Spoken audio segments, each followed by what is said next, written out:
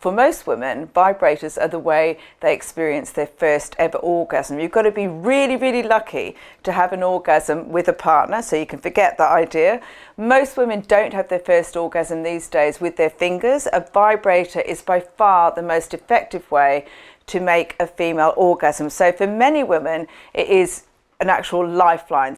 So buying a vibrator will probably give you your first orgasm and your most sort of reliable orgasm from there on in because it still remains the most effective way to make a female climax.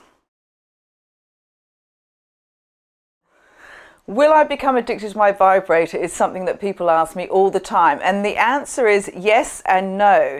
The more different ways you can orgasm through a vibrator, fingers, intercourse, his tongue, the more multi-orgasmic you'll be. So it is a good idea to not only use your vibrator every single time, put it away for a few weeks now and then and use other means to orgasm. But it's not going to do you any harm if you do become a little bit addicted to it at the start, which all women do. So just go crazy at the start, but then remember to mix it up a bit as time goes on.